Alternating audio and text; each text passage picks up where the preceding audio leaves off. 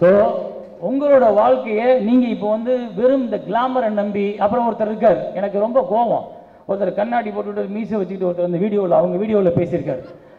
நாங்கள் வந்து நாங்களாக பார்த்து ராதாரவியை வந்து வெளியே தள்ளுற நிலைமையை உருவாக்கிட்டீங்க.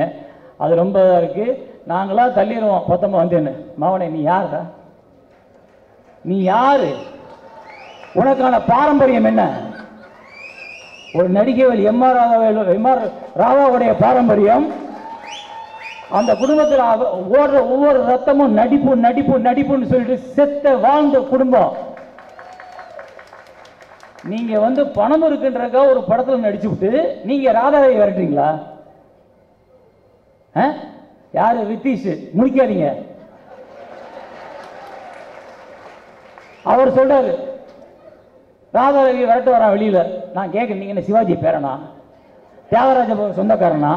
பியு சின்னப்போட கொள்ளு பேரனா இல்லை புரட்சத்தில் எம்ஜிஆர் வீட்டில் சொத்து பொண்ணு எடுத்திருக்கீங்களா? உங்களுக்கு என்ன உரிமை இருக்கு? நீங்க முதல்ல எப்படி இந்த நடிகர் சங்கத்துக்குள்ள வர்றீங்க? சார் இனிமே வந்து பத்து படம் நடிச்சா தான் நடிகர் சங்க உறுப்பினர்.